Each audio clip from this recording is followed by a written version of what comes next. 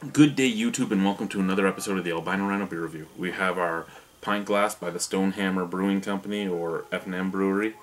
Uh, nice pint glass, might I add. And we'll be drinking Lakeport Honey Lager.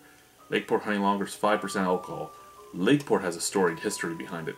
Lakeport, at one point, was a craft brewery at one point it was a craft brewery that only crafted cheap beers that weren't driven just for profit that were driven for the consumer. Now why do i keep saying at one point? Because in 2007 lakeport in hamilton ontario was sold to, to anheuser-busch to be specific to the labatt branch of the anheuser-busch inbev company $207 million for a budget beer company. Why?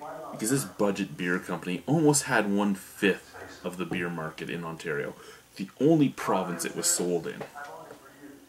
In 2010, Labatt closed the Hamilton Brewery, moved production of Lakeport to London, Ontario, to one of their breweries there.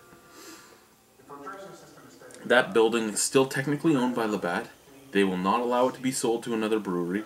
I know, as much as I don't like them, the Boxer and Boxer Ice Company by the Minhas offered them, I think it was 130 million to buy the brewery so they had an Ontario-based brewery to start brewing out of so they could sell their beer even cheaper.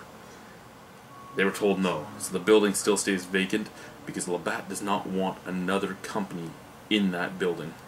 Anyway, how is Lakeport Honey now that Labatt's taken it over? I used to drink this every once in a while. I mean, it wasn't a good beer, but it wasn't a bad beer.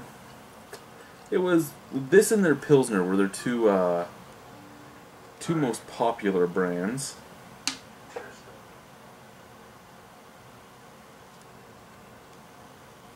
Now, that's not even the full can. It is a light honeyish color. It has two fingers ahead. The head starts right at the head bubble like it should on this glass. It looks nice. There's not too too much carbonation in there. There is a good deal, but not too much.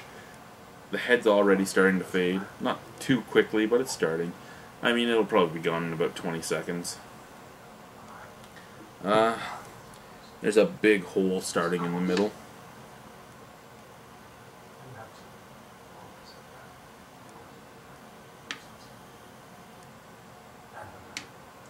Now, Lakeport's slogan has always been Lakeport, great beer, fair prices. Lakeport was also one of the very first $24 two fours uh, that put their name on it. Most of them would just be something like, I don't know, uh, Honey Lager would just be his name. It wouldn't be Lakeport Honey Lager because Lakeport was a name and no company wanted to put their name on it back then. Now every company does it. Laker does it. Red Baron. Every everybody puts their name on their stuff now.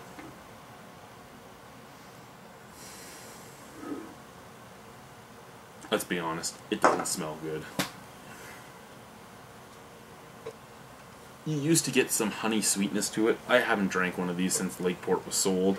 I know, well, that's a lie. I haven't drank one of these since about a year after Lakeport was sold. At that point, it still kind of tasted like what it did originally. Uh, now, not so much. Uh, you get a slight bit of hoppy bitterness, a slight bit of sweet malt, and the rest is corn and dirty water. I don't get any honey. Even from the bottle, I can't get a honey scent. Uh, well, the can.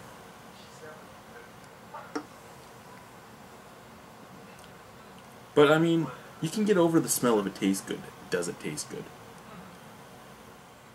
I can't say it tastes horrible. I can't say it tastes great either. I mean, we're looking at a beer that is meant to be a cheap beer. And they have adjuncts added to it already. Now, when it was just Lakeport, there was probably still adjuncts in it. I mean, let's not deny the fact.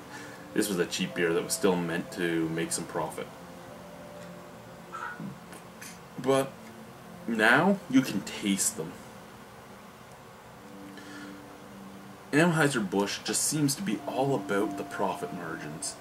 I can't really blame them. I mean, they've turned beer making into a science to make every single batch of beer the same, and every crop you get is going to be different. Beer was never meant to be the same every single time, and I know that's the main complaint people have with small batch beers. It's not the same every time, but beer was never meant to be the same every single time. Potatoes are never the same every single time. Uh, carrots are never the same every single time. Unless it's genetically engineered, it's not the same every time. It's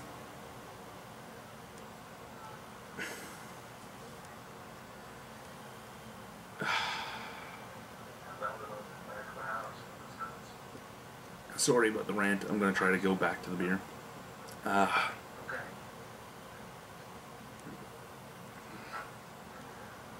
slight bit of sweetness on it. Malty sweetness.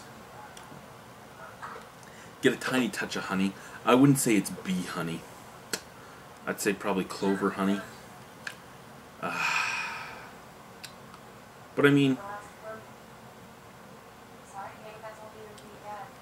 to me, I always laugh about honey. I always make jokes about honey that honey is just bee shit. I know it's not really just bee shit, but if you think about it, honey's kind of just like bee shit.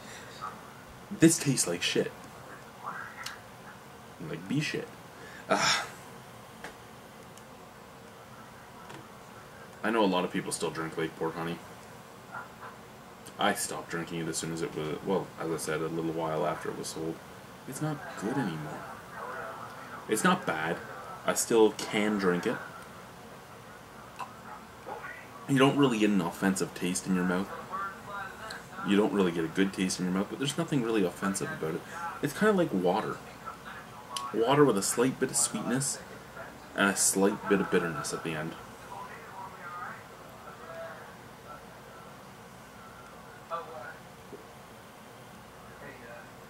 The carbonation is kind of like flat Sprite Zero. How do I know that? Because I just had some flat Sprite Zero this morning. I mean, I'll give it a 5 out of 10. I can drink it. I just don't want to. I mean, even for cheap beers, I can find better beers out there. Now, I might not be able to find a cheaper, better honey lager, but if I want a cheaper beer, I can find it. Well, a better cheap beer because I'm not going to find anything cheaper in Ontario. But I can find a better cheap beer than this out there. So I'm giving this a 5 out of 10. It's, it's not a bad drink. It's not something that you're going to get disgusted by drinking. It's just... It's not a good drink either.